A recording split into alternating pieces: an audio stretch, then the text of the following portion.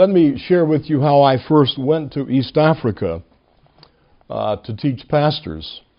Uh, I had pastored uh, one congregation in Roanoke, Virginia for 28 years, and then made the decision to step down from that ministry and not continue uh, in that church.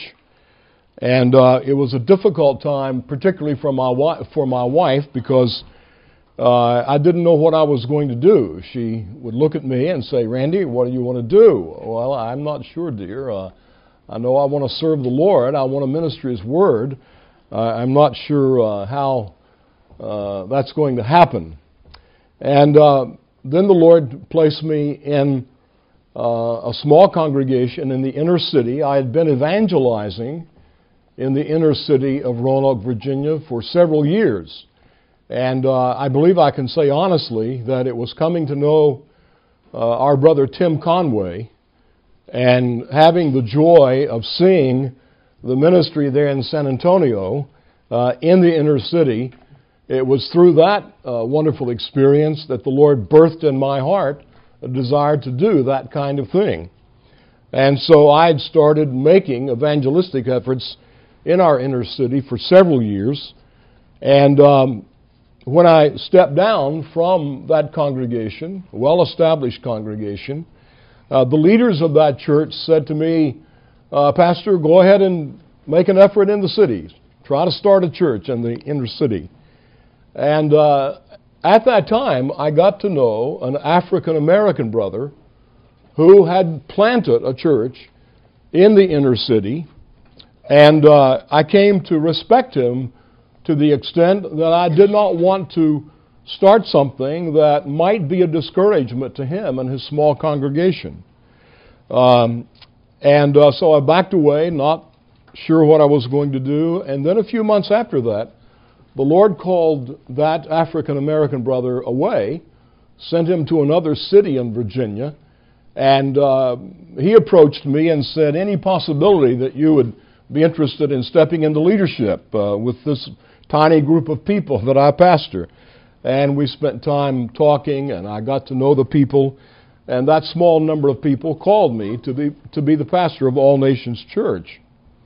Well, at, um, at that same time, or shortly into that effort, uh, a friend of mine in Roanoke, uh, a pastor friend by the name of Tim Martin, called me and said, Hey, Randy, I'm scheduled to go to Uganda to teach in some pastors' conferences over there. And an elder in the church was, was supposed to go with me. And he's had to bow out because of work pressures. And I'm calling to ask if there's any possibility that you'd like to go along as a substitute uh, for a couple of weeks. And uh, I said, Well, I think perhaps I would. And talked to my wife. Uh, had a discussion with uh, the small congregation uh, that I was now pastoring, and uh, everyone agreed, yes, you should go. So uh, in um, in 2000, uh, excuse me, 2010, yes, late 2010, took off to Uganda with this brother, and uh, we taught in three different places over those two weeks. Uh, something significant was happening during those two weeks. I didn't realize it at the time. Uh, this other pastor who had invited me, he's now my pastor because my wife and I have now joined the church where he ministers. Uh, but Pastor Tim Martin was counting the days till he could get back home. Uh, he missed his wife and missed his children, and I missed my wife, of course. But I was kind of dreading coming back. I was enjoying it so much. I was counting the days until I would have to get on the plane and return. And uh, came back, kept on pastoring that little church in the city. Uh, early 2011, made another trip uh, to, um, uh, pardon me, uh, Lusaka, Lusaka, forgive me, Lusaka is the capital of, you know, where Conrad Mbewe is. Oh, come on, Randy. I'm, I'm, I'm drawing up. Uh, no, no, no, no. Um, Zambia, yes. Uh, Lusaka, Zambia. Went, went there to teach, went back to Uganda to teach again. there, uh, and then made another teaching trip to Uganda uh, in uh, September of 2011. And when I came back from that third trip, I said to my wife, This is what I want to do with the remaining healthy, fruitful years that I trust the Lord will give me. And uh, so I began to make plans to step down from my pastoral role of that small congregation. There was a very gifted young man uh, in the church who was proving himself a leader and a very effective preacher. His name was Charlie Evans. And uh, I began to concentrate on Charlie becoming the pastor of the church. He was already ministering regularly from the pulpit. And uh, we began to plan for his ordination and for his assuming pastoral leadership. And we carried that out in early 2012. And uh, I told the congregation, look, when we when we have his when we uh, have his ordination, that's also his installation. Uh, if if we ordain him, uh, then he becomes your pastor. We won't have two services. We'll just combine it and get it over with. And uh, so Charlie Evans became the pastor of All Nations Church in January 2012, and I at the same time um, was made uh, a member of or was connected to this organization called Equipping Pastors International. It sounds, you know, huge, you know, Equipping Pastors International. Well, there's about five of us who travel around the world trying to teach pastors. It's not uh, impressive at all, but uh, I'm thankful for the people uh, that are part of that and um, have been such a help to me. Well, let me, let me give you a statistic. Um, I learned this from Operation World. You know Operation World, kind of the Bible of modern missions statistics, I suppose. But if you think of sub Sahara Africa, now that's everything below the Muslim world East Africa, Central Africa, West Africa, South Africa, or Southern Africa. If you think of all of that vast part of the world, the evangelical community, that is, everyone who says Jesus is the only Savior, the Bible is God's Word, you have to be born again to go to heaven, and if you don't know Jesus and you're not ready to go to heaven through Him, you go to hell. And this message about Jesus needs to be told everywhere. Okay? And that's a very broad definition. But take everyone that believes that, every kind of church that believes that Baptist, Pentecostal, Presbyterian, Wesleyan, Lutheran, on down the line, independent churches. If you look at all the churches that believe that in sub Saharan Africa, that community grows, it increases by about 200,000 people every 10 days. Now, maybe you thought I was going to say months or weeks. But every 10 days, that community has huge numbers of people who are hearing some kind of presentation of the gospel and making some kind of response. Now, I'm not suggesting, and I don't think Operation World is suggesting, that that many people are genuinely converted. If there were 200,000 Africans genuinely converted every 10 days, then the gospel would dominate Africa uh, in about two years and we'd be having missionaries from Africa showing up here in Laredo. And everybody in Laredo would know the gospel within another two years. It would be phenomenal. So it doesn't mean that many people are genuinely converted. I'm only saying that huge numbers of people are hearing some kind of presentation of the gospel, and often it's blended in with health and wealth. Okay, I'm not saying this is pure, healthy gospel preaching. It's blended in with other errors. but huge numbers of people listening, huge numbers of people responding in some way. Now, here's the part of the statistic that is significant for what I'm doing 90% of those people who make some kind of profession will go into churches where pastors have no training. I'm not talking about little training, I'm talking about no training. So, what that means is that huge numbers of people are making a response to some kind of presentation of the gospel, and then they go into churches where there's no one to really teach them. So, how does that translate in my heart and mind? Well, it translates in my heart and mind in a very obvious way. There is great need for pastoral training all across sub Saharan Africa. And so the Lord has been giving me opportunities in five countries Uganda, Rwanda, Kenya, Burundi, and the Democratic Republic of Congo, which is in the center of the continent and is a part not of East Africa, but of Central Africa. The Democratic Republic of Congo is a huge, huge country. You don't really get a sense of the size of it looking at most uh, world maps.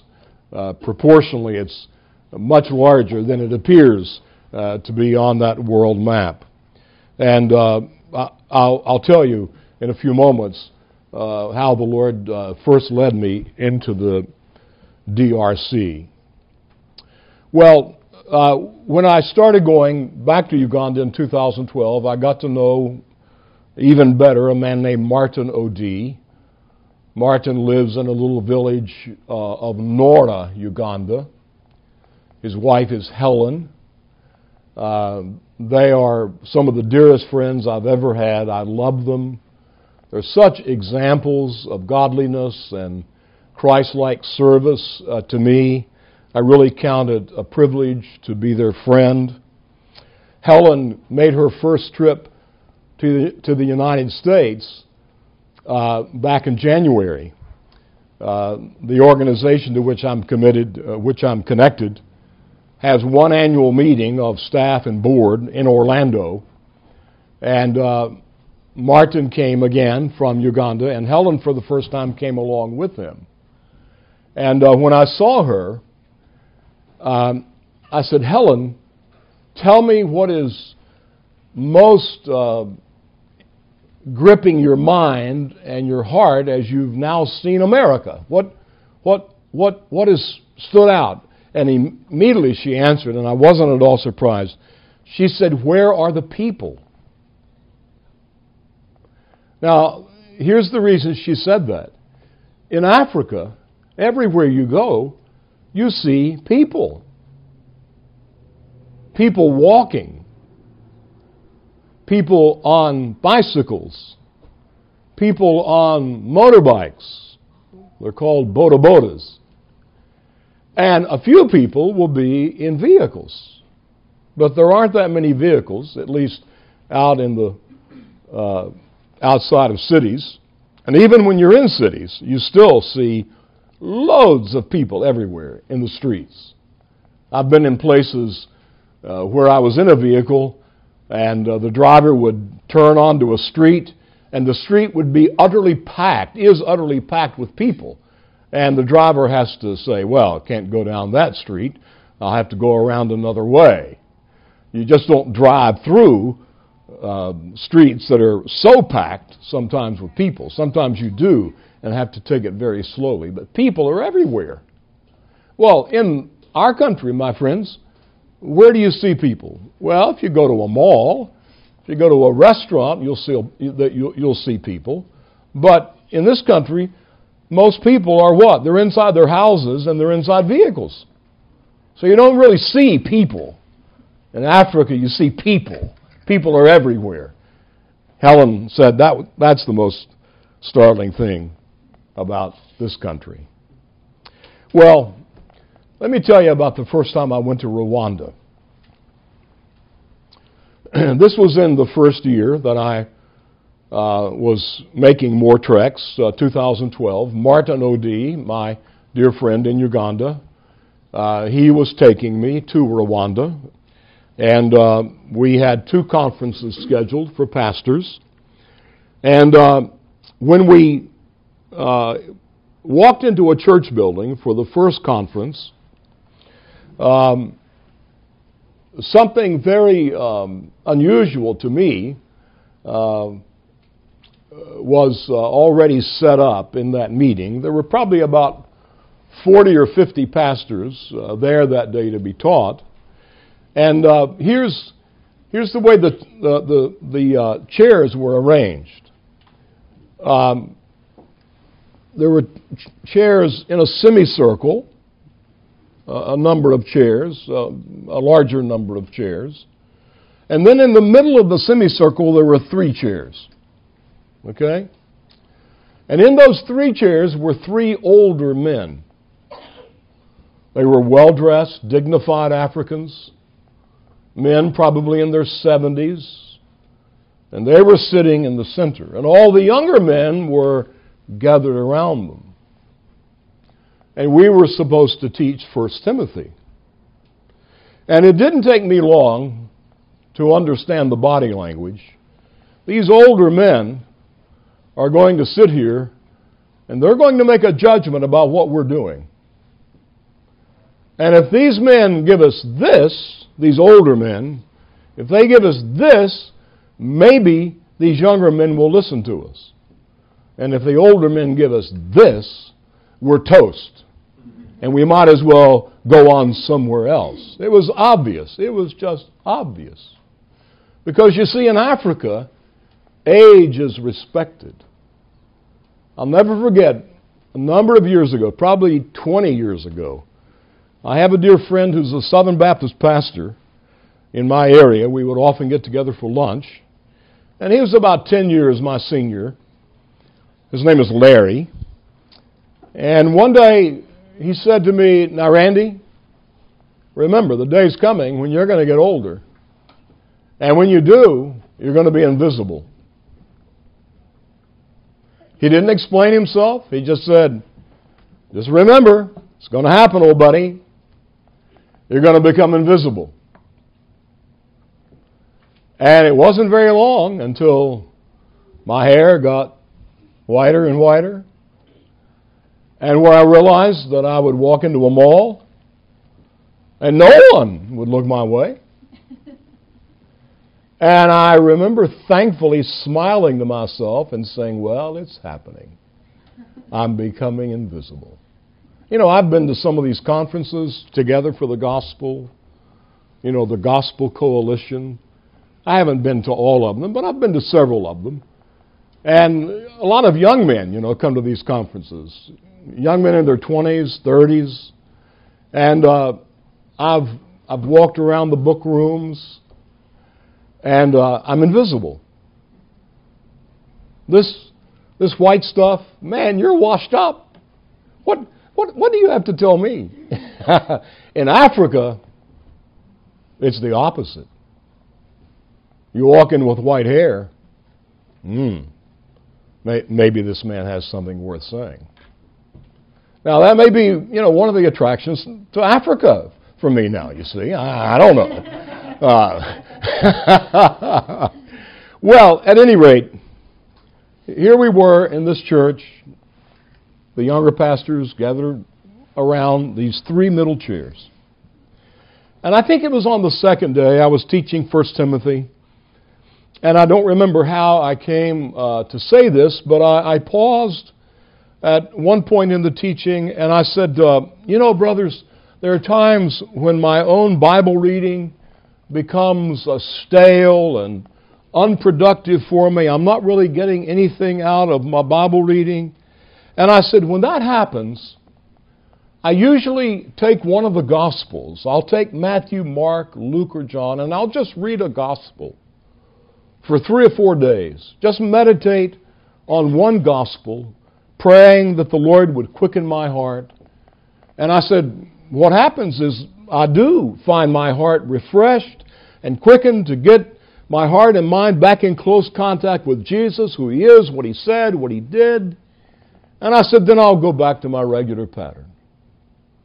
Well, after that session, the middleman, the oldest of the elders, the middleman, his name is Noah Mudagiri, he came to me and he took my hands like this and he said, Thank you for what you shared about reading your Bible. And this man said to me, I've had that happen in my Christian life. I've had times in my life when I haven't really been getting anything out of the Bible. And he said, I've always been afraid to tell anyone. And that that one small moment. I mean, it, it, it, couldn't have been more than 90 seconds that I took to say that in the midst of teaching 1 Timothy. And that one brief moment opened that dear man's heart to me. And, and, and so Bishop Noah, Bishop Noah said, I've been praying for years for someone to come to Rwanda to teach pastors. And he said, You are the answer to my prayers. And I, I am I'm overwhelmed at God's kindness and mercy. And I should finish out that little bit of, of story. This man, Noah Mudagiri, has been the means, the God ordained means, of probably three or four hundred pastors learning the gospel I don't mean I don't mean simply men who heard him at a conference and said I want to be a preacher like Bishop Noah. But I mean men who have been brought to Christ through this man's ministry in the DRC, in Burundi, and in Rwanda. And uh, God has used him in extraordinary ways. Uh, the first time I went to Burundi to teach, uh, the, the men that I was teaching in the capital city uh, some of them were not very attentive, they were not very appreciative. Uh, that occasionally happens. Not usually. Usually men come with hunger and desire to learn and are receptive. But occasionally I found myself in places where men walk in and and uh, you know they're already bishop so and so and they have already had some kind of they would say revelation, and God has called them to do this or that, and and uh, you know who's this white man uh, coming to teach us? And um, so I, I, I, got some of that attitude in in Burundi, and um, I left thinking, well, there are other places I can go, and and um, other places where I think uh, men will be more receptive. And uh, I really left Burundi thinking, I'm not going back there. But Bishop Noah is deeply burdened for Burundi, and uh, he was aware of what had happened, and uh, he communicated to me later on, please, please, would you go back to Burundi? And, uh, and I said, uh, well, Bishop Noah, will you be there? Will you be there in the meetings if I go back? Yes, I will be there where you are teaching, he said. well, I've gone back. And um, uh, you, you, remember the uh, commercial uh, when Smith Barney speaks, people listen? Do you remember that? You don't remember that commercial? Well, Smith, you know, Smith Barney is a big um, stock company, uh, Wall Street, whatever, you know, and and um, so the commercial has this line when Smith Barney speaks people listen. Well, when Bishop Noah speaks, people listen. and uh, so um, I've continued in Burundi, although now, uh, please pray for Burundi, there is uh, increase of civil war. Uh, it started over a political brouhaha, but it has increased in recent months and has now morphed into a Hutu Tutsi civil war in Burundi, which is the same tribal conflict that led to the 94 genocide in Rwanda. And God forbid that that would be repeated in Burundi. But there is right now increasing uh, civil war violence in Burundi, and uh, the pastors there uh, have uh, said to me, Pastor Randy, it's not safe for you to come back. Uh, and in fact, I would have difficulty even getting a visa to get into the country. The, the government of Burundi is holding outsiders at bay. Uh, so right now the doors are closed uh, in Burundi. Well, um, let me mention some other men that uh, are uh, friends and our key associates in the work that I'm doing. Stephen Shimimana uh, is a gifted brother uh, in Rwanda who is my favorite translator. I usually have to have translation in Rwanda. Um, uh, they have their own uh, national language, Kinyarwandan, and uh, I wish I could get up in front of those men and start speaking fluent Kinyarwandan, but uh, I'm not able to do that. So Stephen has become my primary translator. I'm also uh, a close friend of Theophile Rugabira uh, in Rwanda, in Kigali. Uh, Theophile is a God is a man that God has used in Rwanda, in the DRC, and Burundi, and uh, I count him a, a, a true friend and uh, helper. Uh, George Kariuki is the man that I'm most closely connected with in Kenya. Uh, George was a banker. He was very successful in business, uh, but felt called of God into the ministry and left his um, uh, comfortable uh, banker position and started preaching and pastoring, and God has used him. And then let me give you one uh, name. You might have seen this name at times in one of my letters. Uh, I have a dear friend whose name is Upoki Bitum. And Upoki is U P O K I, Upoki. Upoki Bitum.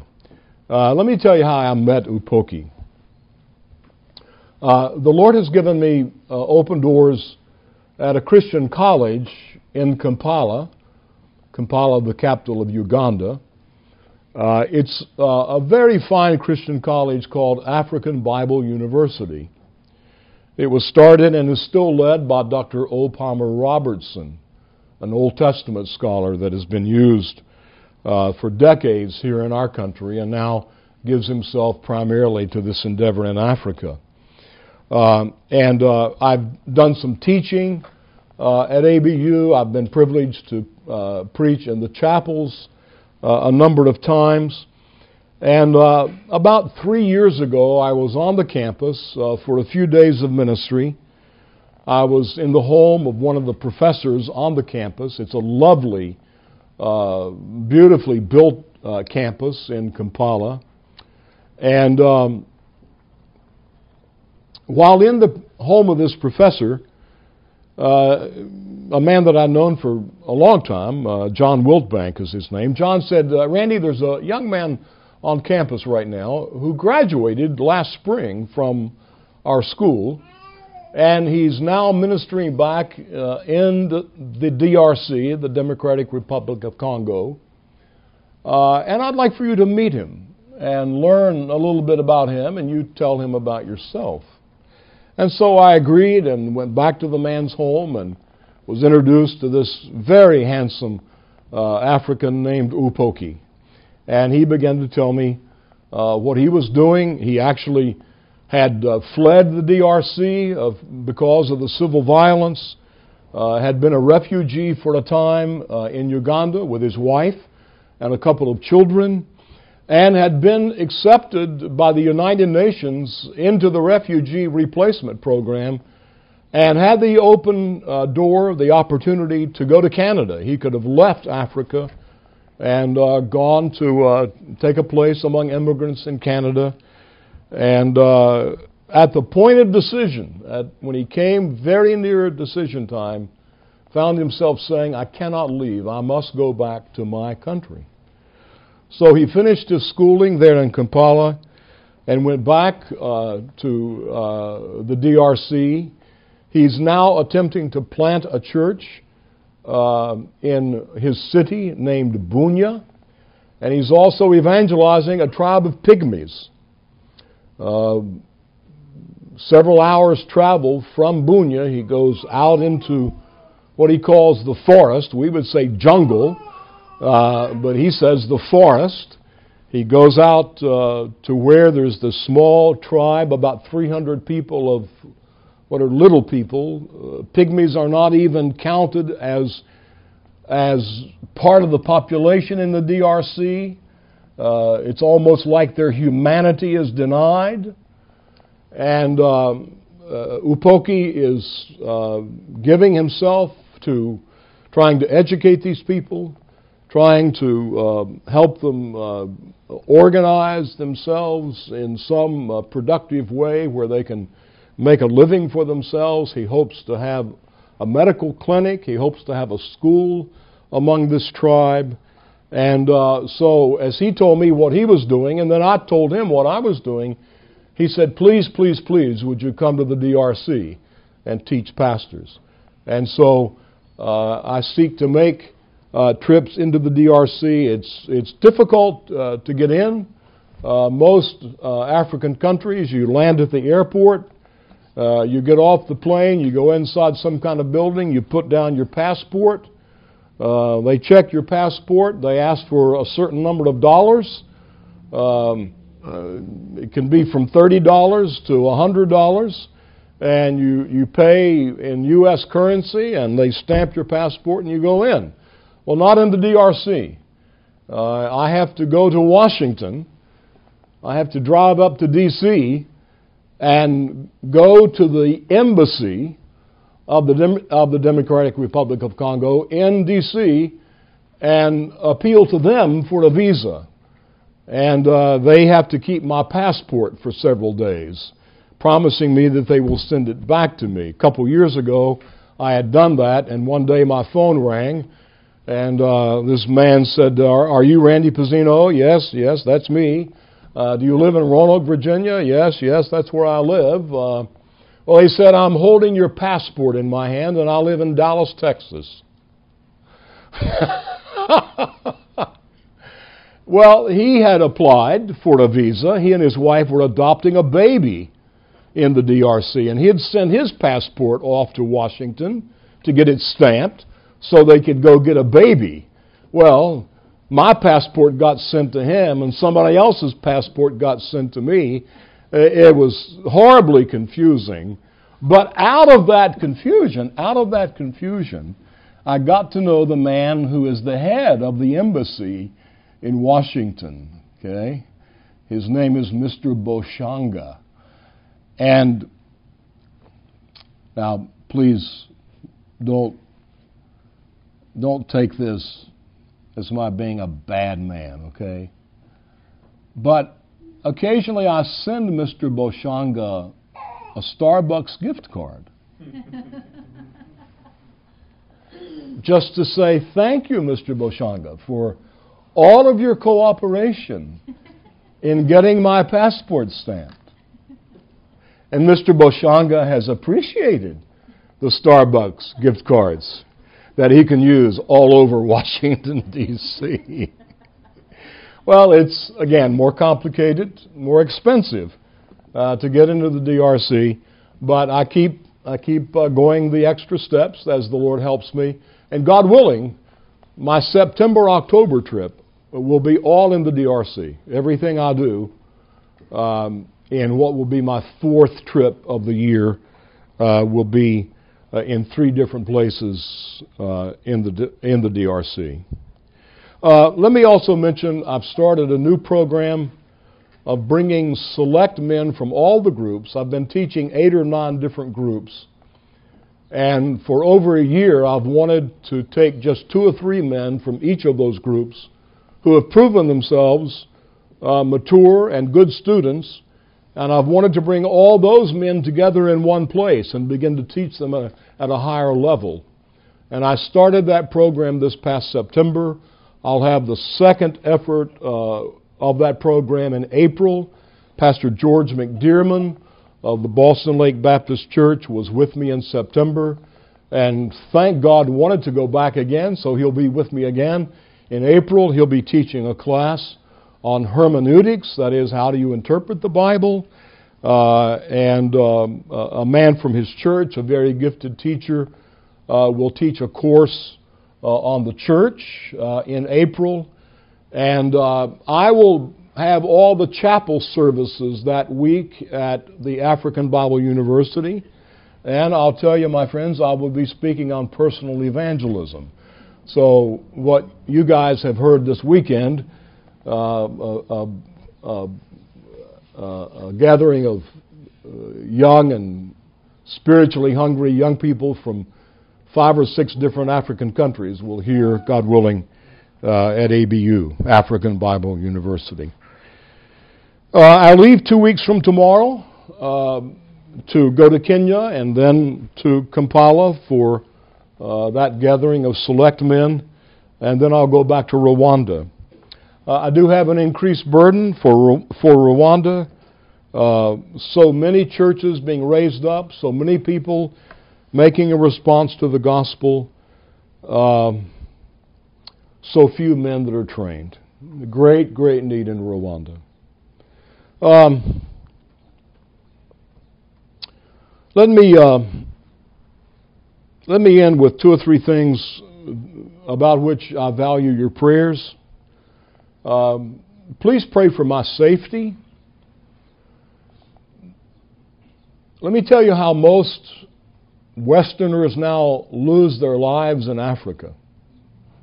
Most missionaries who lose their lives, who die in Africa, it doesn't happen by being captured by a tribe and put in a boiling pot, okay?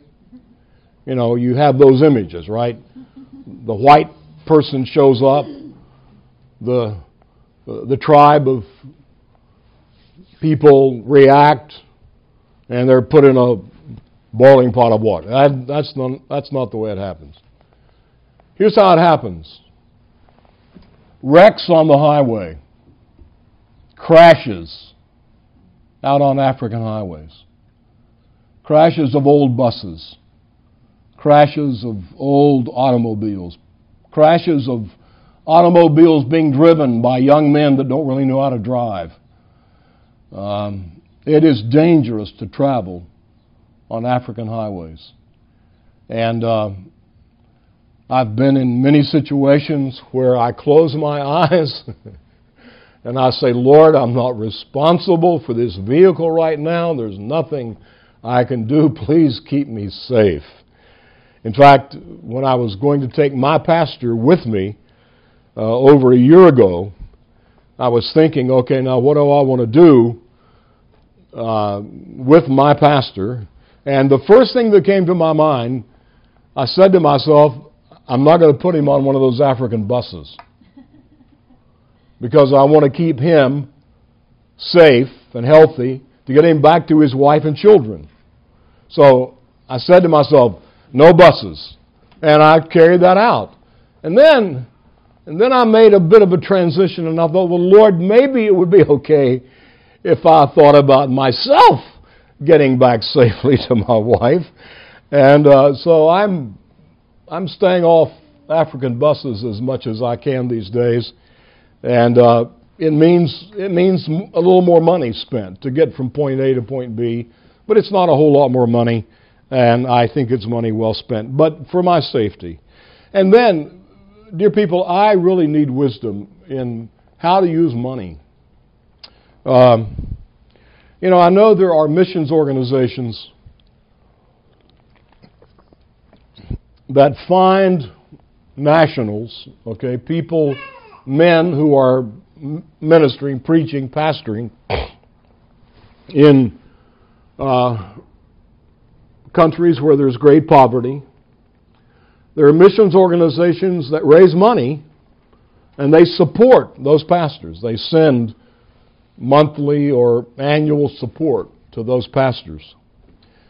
Um, God may use that. Uh, but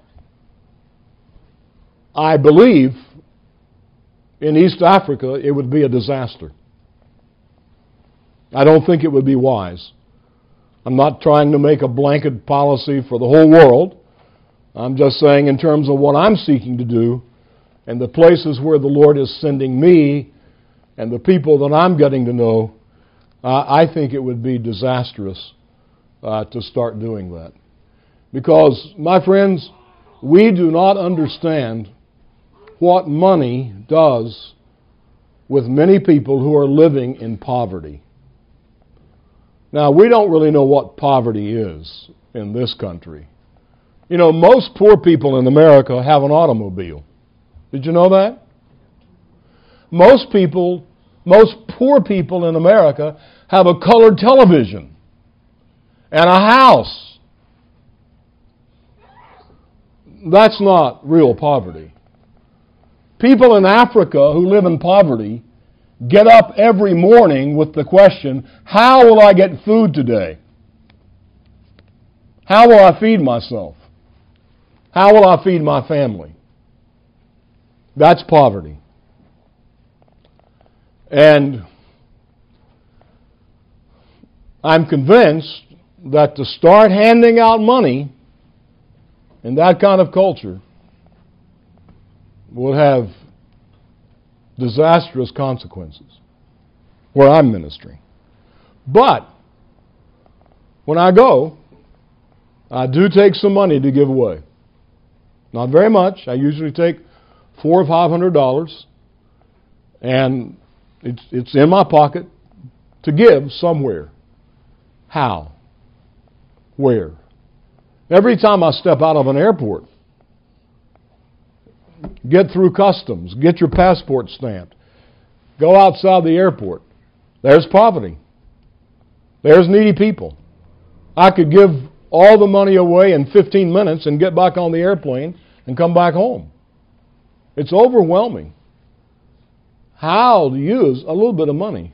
Well, I will tell you, I usually pray, Lord, guide me, Lord, make my way plain, and I'll see someone here, someone there, a family here, a pastor there, and I share that.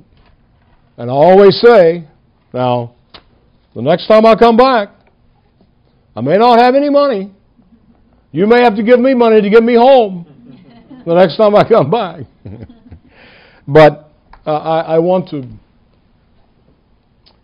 I, I want to show the love of Christ in small ways, but the wisdom to do that in a profitable way is uh, very difficult uh, to discern.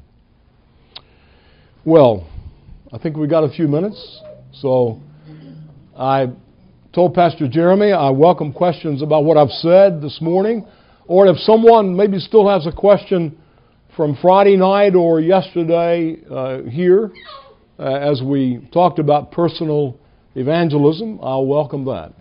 So, anyone? Question? Yes. You wanted us to pray for and you only gave us two.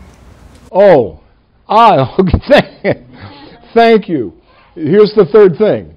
I, I, I had it jotted down. Um, pray that God will give me wisdom in selecting mature pastors here to take with me for that training program of the select leaders. Okay, the, the program where I'm bringing two or three men from each of the groups together. I hope to start doing that three, three times a year. Uh, right now, I can only see my way clear to have two sessions, but I, I hope to add a third session uh, in the not too distant future. Uh, but I, I, need wisdom to uh, to know uh, who to invite, uh, and, and and for men to be willing to go. It's it's difficult for many pastors to say to say yes, I'll I'll be gone 10 days. I think, I wish men were more ready to do that. I wish there was more of a missional mindset that would make men uh, a little more responsive, but uh, I'm not. I'm not, uh, I'm not finding a long list of volunteers, shall we say. Okay? Yes. Can you share um, what your your teaching topics are on? Uh, you've sent in your letters you've taught on like Romans and Timothy, and um, could you share like to a certain amount of groups of people how many sessions you've done, and, and I guess a summary of what the series are. Well, most of the conferences are three or four days. And, and what I will do uh, usually is uh, start around 9 o'clock in the morning, uh, a break for a meal in the middle of the day, and go up to about 4 o'clock. Uh, don't, I don't, uh, except for the classes in Kampala, where the select leaders are brought together, except for those classes, I, I don't do any teaching in the evening. Um, so it's it's morning into late afternoon for three or four days usually. The pattern that I've followed, I, I usually do start with 1 Timothy because that's the most explicit instruction we have in the New, in the New Testament about church order and leading of the church. Um, that's why Paul wrote that book to Timothy. He says that very clearly at the end of chapter 3. So I usually start with an exposition of 1 Timothy. That usually takes me two visits. And then normally I do a, a series on sanctification, the doctrine of sanctification. And that gives me opportunity to open up what true conversion is. And it's, it's, a, it's, a, it's an open door to, to uh, go after shallow decisionism that is rampant in Africa. What, what, what have Africans been taught about evangelism? Well, they've been taught what fundamentalists in this country have taken them. Uh, give a sermon, ask for raised hands, come to the front, pray a prayer. Boom. Decisionism. I mean, if you were the devil, you'd have a hard time finding a more effective way to deceive people about their spiritual condition. And it's rampant. So, in teaching sanctification, I have uh, extended treatment of what, what is the sanctifying process that begins the Christian life. There is a decisive sanctifying work that initiates the Christian life. And I spend a lot of time on that. And then uh, that series ends with lots of practical instruction about struggles with remaining sin. Uh, many African Christians uh, are taught this, this pipe dream view of sanctification that maybe God can do something so extraordinary in your heart after your conversion, after you've become a Christian, this second blessing of some kind, that then you really move up. Well, that, that's, that's foolish, and that's not in the Bible. Uh, ongoing struggle with remaining sin is what the Christian life has to face and deal with. So, 1 Timothy, doctrine of sanctification. I have done some teaching in Hebrews, but usually I start expounding Romans. And um, this last time I was in Kigali was my 11th time to be with those group, with that group of men, okay? And I finished Romans 11. So when I go back to those guys, uh, the next time I'll take up Romans 12. Uh, the 12th visit will be. so I, I'm, I'm, I, I, Debbie, after, after I finish Romans, I'm not sure what I'll do. Uh, anyone else? Yes. Um, I was a little interested in hearing a little bit more about the pygmies the progress of the gospel. Um, I was a little bit interested in hearing more about the pygmies and the progress Ah. of the gospel with them, and also um, um, curious as to why, if you know, why is there, why are they looked down upon, or why are they viewed as differently as the rest of the people? Yeah. Well, let me respond to that last question first, okay? Africa is a tribal society, a tribal culture.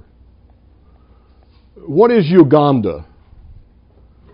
Uganda is a, is, is a part of Africa that Europeans carved out and named. Kenya is a part of Africa that Europeans carved out and named. It was, it was the fruit of colonization. Okay? Europeans, the Dutch, the British, the French, the Portuguese, went and colonized this vast part of the world. But, but that's an imposition. And Africans think in terms of their tribe. I have a friend named Joel Mukalu in uh, the city of Lira, which is in northern Uganda. And I remember one day saying, Joel, if I ask you, what are you? Do you think I'm African? I'm Uganda? Or do you think I'm Luo? And without skipping a beat, he said, I'm Luo.